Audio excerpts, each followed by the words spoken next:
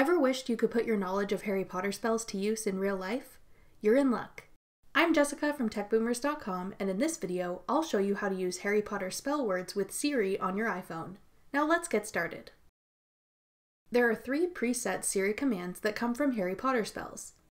To use them, first make sure you have allowed Siri to function while your device is locked.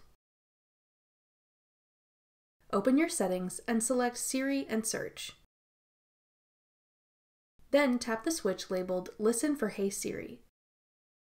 Go through the steps to set this up. Then tap the switch labeled Allow Siri when locked.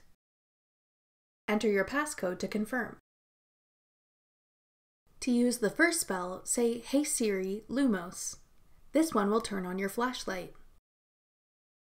Say Hey Siri, Nox to turn your flashlight off. The third spell is one that will allow you to open various apps on your device. Say Hey Siri, Accio, followed by the name of the app you want to open.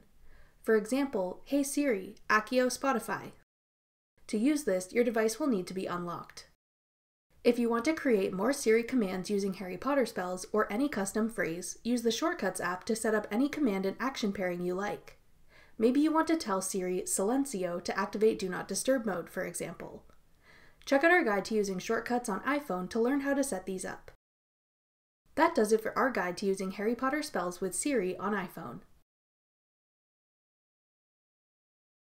Thanks for watching. If you found this video helpful, we'd love it if you'd hit the thumbs up button below and subscribe to our channel.